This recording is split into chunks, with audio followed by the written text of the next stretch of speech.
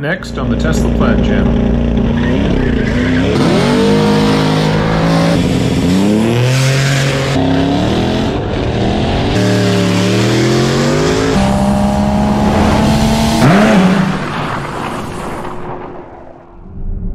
Welcome back to the Tesla Plaid channel.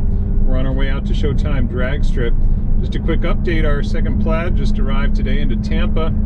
It's there going through the pre-delivery prep and we're picking it up the day after tomorrow, Friday, probably by the time you're watching this video. We're hoping to test that on Saturday if it's dry here. We got good weather tonight, that's good news. We've also got the Nittos on the back of the car once again. A lot of people have been asking why we didn't run those the last couple of nights, especially out at Orlando and Bradenton in the quarter mile tracks. And I'll tell you, I like testing tires, but I don't like testing tires at 159 miles an hour. So, you know, I'm not crazy. I will test these tires, figure out the right pressure level. We're going to start tonight with 40 psi and take it down from there. Remember, this car is almost 5,000 pounds and heavier vehicles need more air in the tires. So we'll see how the tires do tonight and let's see what interesting cars we can find out there at Showtime. It's Wednesday night, that means we're out at Showtime Drag Strip out here in Pinellas Park, Florida. We do have the Nittos on again tonight. You can see the specs on the tire here. It's a 285 35 series on a 20 inch rim. We're gonna start our testing at 40 pounds and bring them down from there. Last couple weeks we've been out of quarter mile tracks and we didn't want to test these tires at a 150 plus mile an hour. So we'll test them here in the eighth mile, do 120 on them, see how they hook up. So we got to the track here tonight with 98% and track's just opening right now, six o'clock. I think we're gonna go to drag strip mode and uh, use that for our baseline first pass. Setting it to drag strip says it'll take 13 minutes to be ready, so maybe around 6.15 or so. All right, the car just popped up with peak performance ready. It's uh, 6.16 and ready to go. And now we got drips on the windshield. There was no rain in the forecast at all today. Hopefully this uh, is just a couple drops.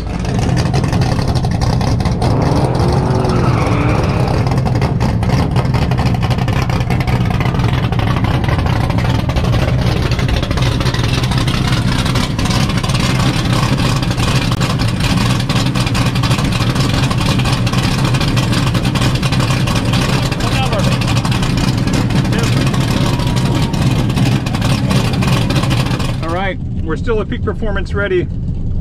It's only about five minutes since those uh, couple of drops fell, but nothing else has fallen, so.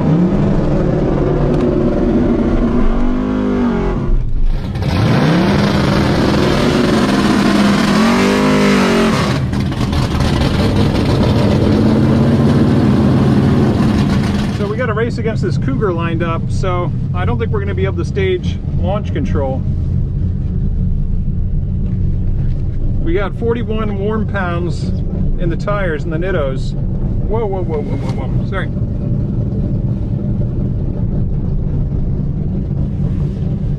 All right, this is gonna be an actual drag race here, so we gotta play it like one. We need a decent tree. This car is fast.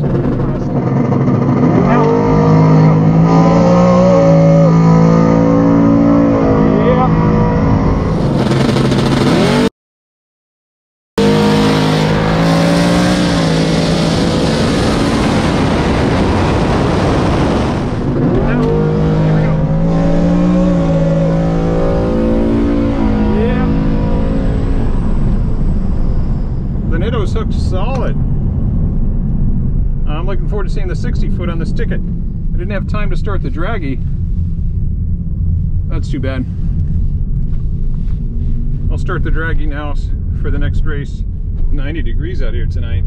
Pretty brutal. And humid as heck. 604, 120. 604, that's my best pass out here. 47, 60 foot. Nice. These tires. I put the Nittos back on. All right, that's the fastest eighth mile we've ever run at this track. We've run 602 and 603 out at Bradenton. Different animal on a different night, different conditions. But a 604 to 120.1 with a 1.47 60 foot. The Cougar ran a 656 at 104.4 miles an hour. Finish line margin was 0.36, so I think the tires like this higher amount of pressure. You know, I appreciate everyone's input in their comments. Some people suggested I drop them down to 20 pounds. Some people suggested I air them up into the 40s and every suggestion in between. But I kind of suspected that uh, they might respond well to high pressure like this. So we're at 41 warm pounds. We uh, aired them up to exactly 40.0 cold before we left the house. Remember, we didn't even use launch mode on that pass. So I'm gonna make another pass right away, same everything, except I'm gonna use launch mode and see if we can beat that 604. Well, 604 on these tires, these Nittos. That's the fastest pass I've made out here. 604 what, 120 still? Yeah. 120, is that gonna be the peak on it? Uh, I don't think I'm gonna get more than about 120 and a half. We did uh, 120.1 on that pass. It's all about how quick I can get out of the hole and hook up. Right. But that uh, was a 147 60 foot. And when you consider this is a 5,000 pound vehicle, Shit, yeah. You know? Is that what it weighs? Five grand? with me Holy in it, it's 4,800 empty. Damn. Yeah. So All right, well, take it away, Bubba. I'm gonna go solo on this one.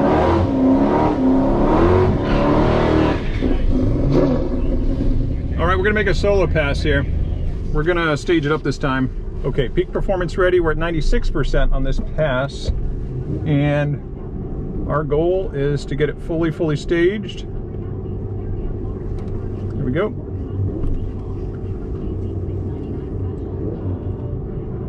And now.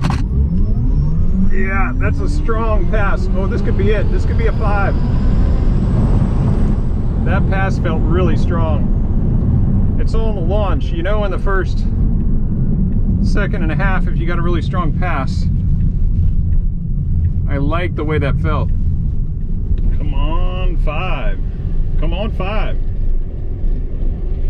608, 120. 608. 150, 60 foot. Man, that felt like a really strong pass too. They all look like good passes, man. I mean, this car is just so fast off the line. I'm gonna try the other lane. We ran a 608 at 120.2, a little more in a mile an hour than the first pass, but a little less ET, and ran a 150 60 foot. Let's try the other lane. All right, let's try launch mode yet again. Peak performance ready. We're at 94% battery charge right now. Let's stage this up. Oh, come on, car. Preparing for launch. And go. Come on, car.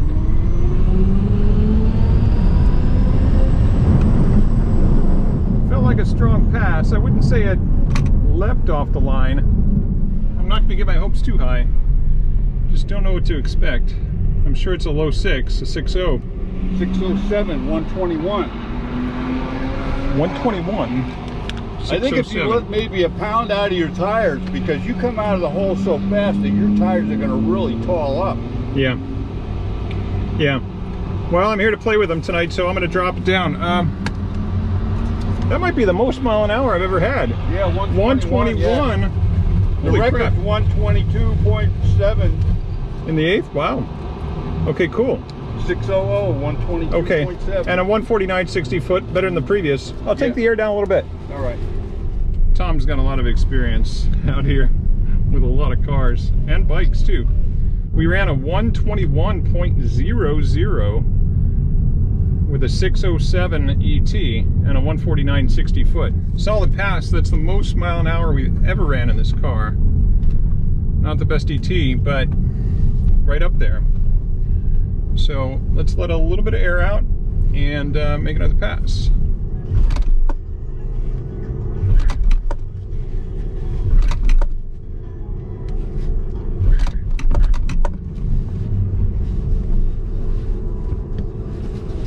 All right, we're still at drag strip peak performance ready. 92% battery now. These eighth mile passes seem to be using somewhere between one and a half, uh, two percent maybe. I'll analyze it at the end of the night. We're staging up, preparing for launch, and let's do it. A little bit of squeak there. I heard a little more out of the tires that time than the previous passes. We dropped the air down to 39 pounds before this run. I should have caught that on video, I didn't. After those first three passes, the tires obviously got warmer and they were showing 42 pounds of pressure. So I let three pounds out of each tire and they're at 39.0 now. 609, 120. 609. Try the lane again. I dropped three pounds out of them. They got up to 42 Yeah. from being warm. 40 was my baseline. They got up to 42. They're at 39 now. I know that sounds like a lot, but remember it's a really heavy car. Yeah, yeah, yeah. Yeah. I'll try the other lane. So we lost about a whole mile an hour versus the previous pass, and that could just be from letting the air out. Less air is more rolling resistance, and that could absolutely hurt mile an hour. So we went from 121.0 to 120.0 and ran a 609. Let's make a pass in the other lane and then decide where we want to go from there. But if our mile an hour stays down like that, then I'm gonna air them back up. Hey, do you want to go through the middle instead of go through the water? Yeah.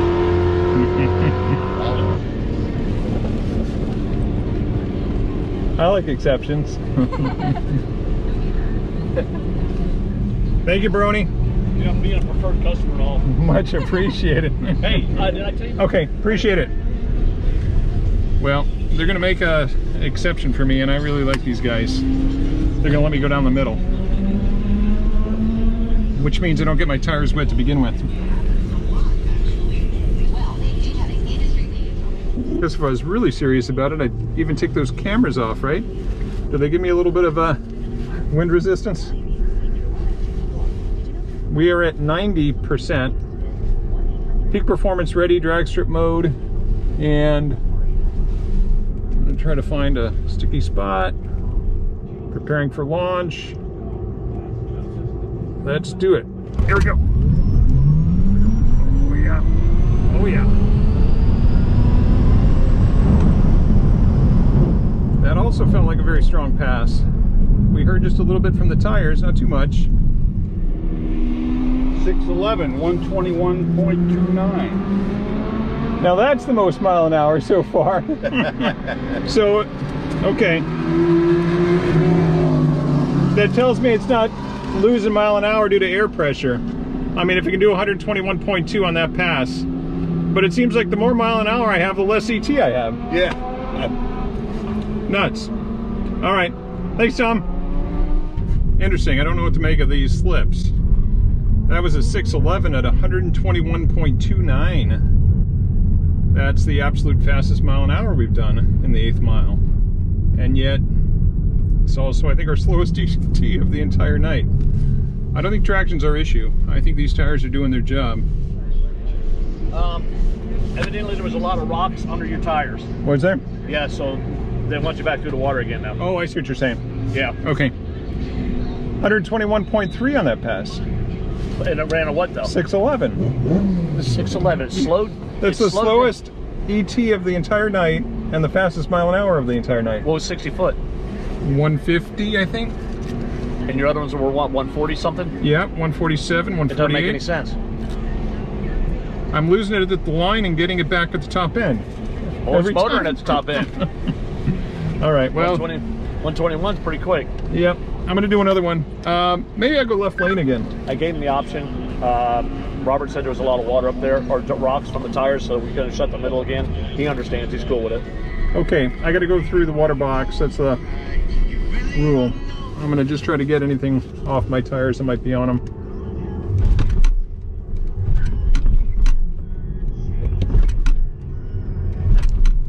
We are at 89%, so it's using somewhere between 1 and 2%. Maybe call it one and a half, but I'll do the analysis at the end of the video. Okay, we're staging up, preparing for launch, and we are fully staged. Let's go.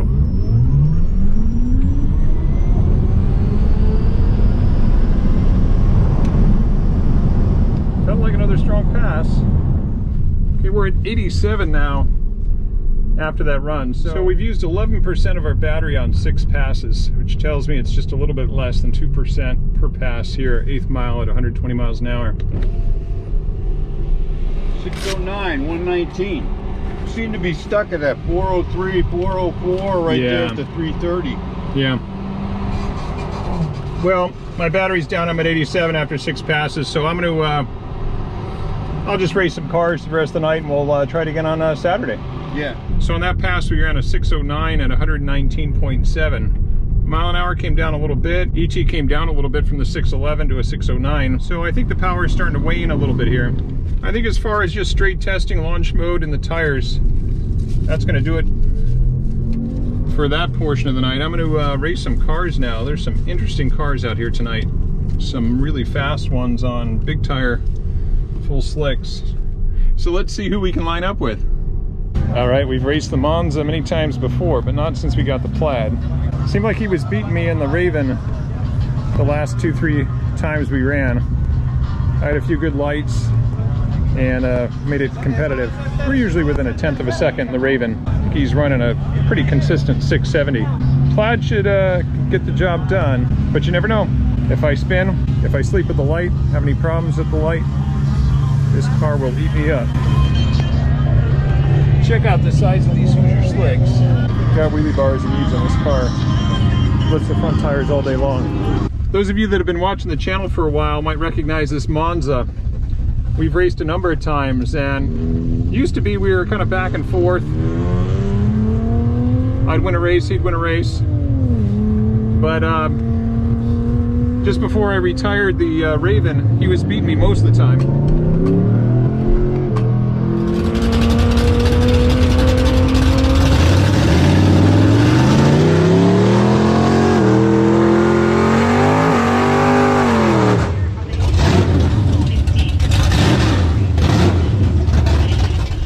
Our first race since we got the plaid, and um, I owe him a defeat. Now it's a full-on drag car, big tire.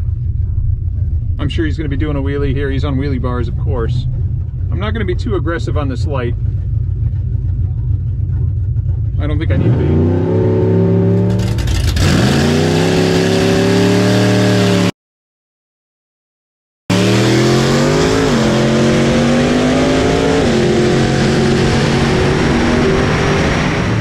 Now, oh, we got out of it this time. Look at that. Oh, we got- Yeah. Yeah, that car launches. That's like a 130, 60 foot car. He probably jumped right out of the frame of the camera. 630, 118. He had you to the 330 and then That car is quick. two, Launches. 200s by, 200s by the 330 and then Wow. I ran a 630 at 118.8.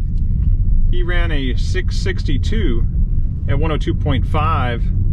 And he had an awesome reaction, a uh, 019. And I had a 0.12. I was going for about a tenth. I wasn't trying to be too aggressive. He had a 141 60 foot to my 159. Now I was only in plaid mode. I didn't go drag strip or launch control. But a good race.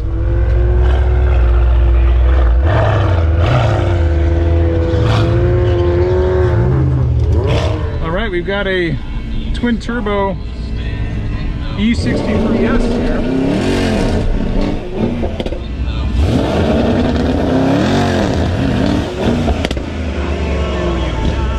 This is a six second AMG, AMG E63S. And it sounds like he's got a tune on there, but unfortunately, he doesn't have a helmet.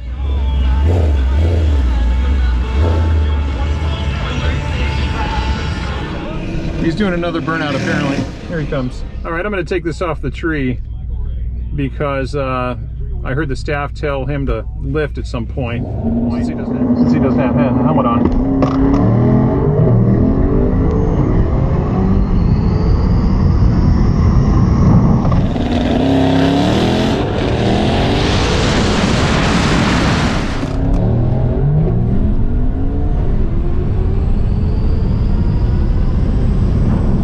So he would have gone faster if he uh, could have stayed in it, but I guess we were just racing to the half track of uh, this eighth mile, which is uh, 330 feet. Maybe I shouldn't have shown him what we've got because he might not want to race me next time when he comes out fully equipped and ready to race. 623, 119. 119. All right. So we ran a 623 at 119.1 mile an hour. The 60 foots were actually pretty close. That uh, AMG ran a 159 60 foot to my 156 and his 330 was a 4.5 to my 4.1. I was already pulling him well ahead by the half track, which is probably about the time he got out of it. Fun race. Once he's got a helmet, we'll race the full track. This Grand National runs between 32 and 35 pounds of boost in that Turbo 6. And he's on full slicks tonight, it looks like. I was looking left or right. Actually says uh, ET Street Radial Pro, but I'm not seeing any tread left on that tire.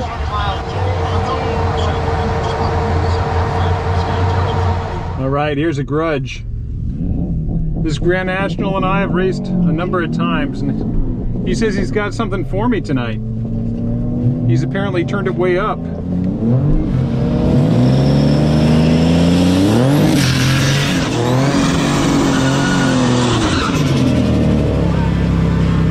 And he's expecting to make the fastest pass he's ever made. I wonder if he's just trying to get into my head, so I'll red light here. I'm going to try to cut it not too close. We talked about how to stage here. I'm going to take one bulb, and then he's going to take a bulb, and he's going to build boost. These turbo cars have to stage a certain way so they can get up on boost, all right? He got out of me. Did he red light? I think he red lit. I think I'm going to pass him away. Whoa!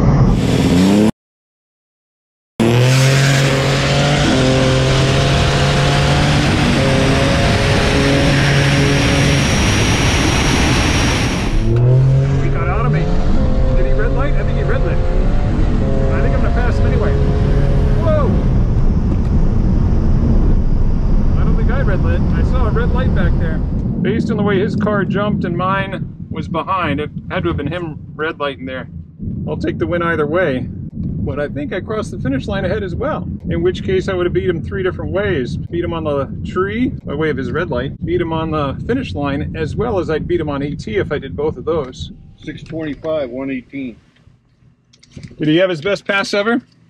650. Oh uh, yeah, he's always stuck right around that 650. Yeah. He thought he had something for me.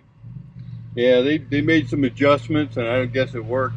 It was really close at the finish. You see that? 02 at the finish line. Really close. So I ran a 625 at 118.8 and he ran a 650 at 105.9. He red lit significantly by uh, 0.12. Finish line was dang close. 02, two hundredths of a second. I just passed him right before we crossed the traps. So.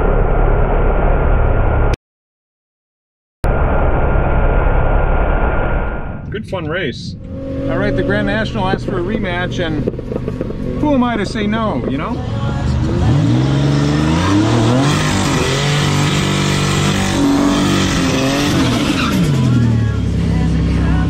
What do you bet he turned up his boost even higher?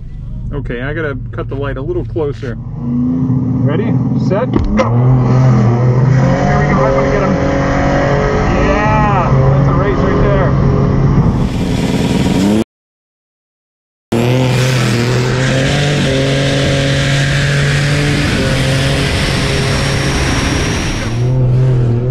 There we go, I'm gonna get him.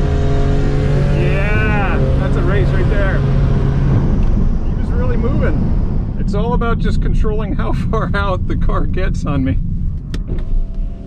622, 118. Nice. He had a he had a 006 reaction. Did he? Yeah. he was right on that light. oh man, my light was no better than my- my last one. I think I had a 0.12 on the last one and now it's a 0.14. I've been giving cars the move almost entirely the last three weeks, so I'm getting rusty on my reaction times. Yeah, he had a double O, but he only ran a 660, so I took him by 0.24 at the finish line. I ran a 622 at 118.9, and he ran a 660 at 105.7. Other than his awesome reaction time, he had a 150 60 foot to my 156. Made for a good race. You nailed that light, man. No, Double O. I'm good at the light now with the brake. I just got the the Patrick oil pack, my real good shit is Yeah. fucked up, so I can only go past 32. When I put it at 35, I didn't have no power at the end. You seen at the end? so I'm gonna I'm gonna go I'm gonna go a little more off the line, bring the boost down, and just get a little try to get a little consistent. So you had 35 on that last run and 32 on the run before? Yep. Yeah. So I'm gonna bring it back to 32, but off the line I'm gonna go like 26. That last time I did 16, so I'm gonna put it at 26 off the line. Let it cool off and we'll do it one more time. All right, the Grand National wants to go once more. Oh, he's going to catch me off guard here. I'm totally not ready, but that's fine. I'll give him what I got. Oh, all day long here.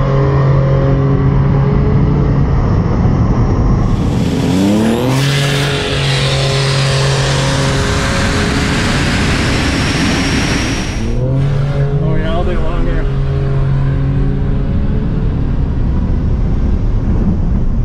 All right, that might have been one of my better lights of the night. I felt like I was uh, in more of a rhythm on that one. Let's see if that light was any good. I don't know.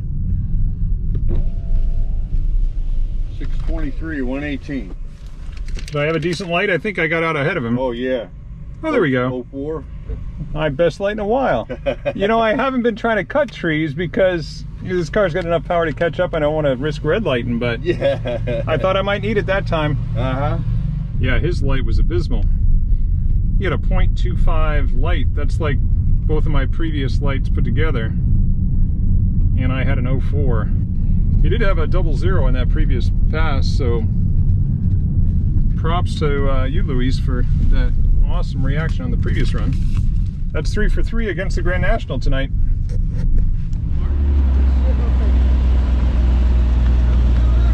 All right. Um,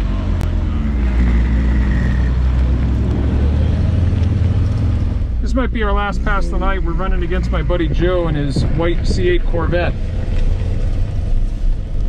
Those of you that have been watching the channel for a while have seen Joe before. We raced quite a number of times in my previous Tesla, but not against the uh, Plaid before.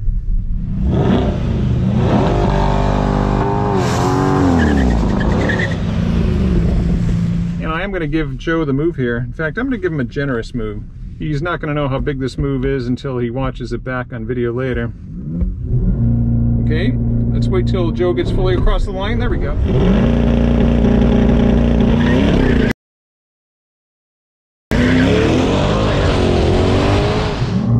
Okay, let's wait till Joe gets fully across the line. There we go. This is only an eighth mile.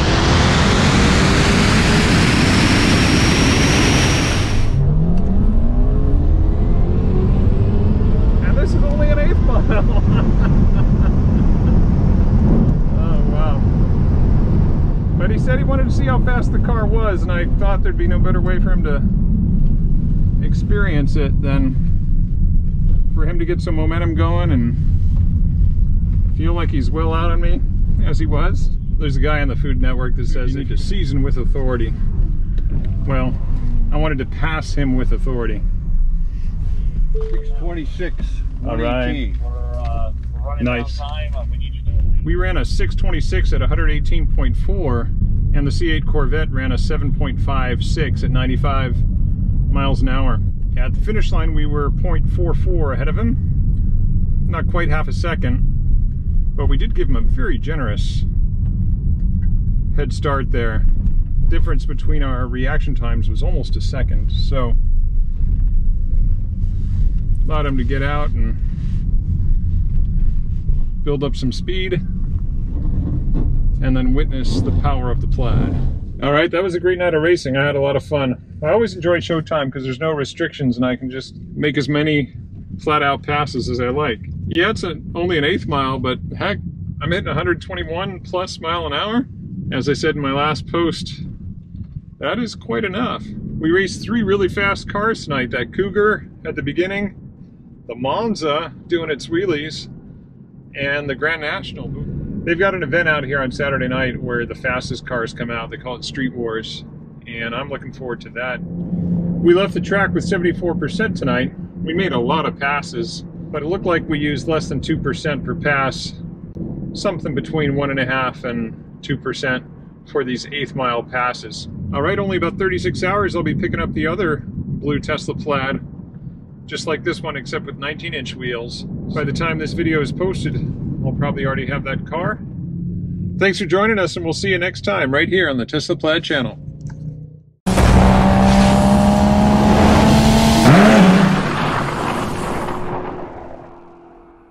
All right, nothing to see here. Nothing to see here. We got the custom license plate on our new plaid. We also got this plaid. So we've got 21 inch wheels and 19 inch wheels now. There's the 21s that we've had for the last few weeks. And there's the new 19 inch wheels, which look like it's just another cover like the Model 3 had. Haven't taken this one off yet, but I'll uh, check that out soon. And we do still have the 20 inch wheels with the Nittos on the back of the old one. So just put the decals on and if we can get a move on, we can still race tonight out at Orlando. So if you're wondering why I haven't had a chance to edit the delivery video from this morning, well, I can either go out and test this car tonight at Orlando or I can work on video editing. So I'm going to choose to go out to Orlando and test these new wheels on this new car, see if it's tuned the same, and then we'll present the full delivery video with this car and maybe a walkthrough of the cars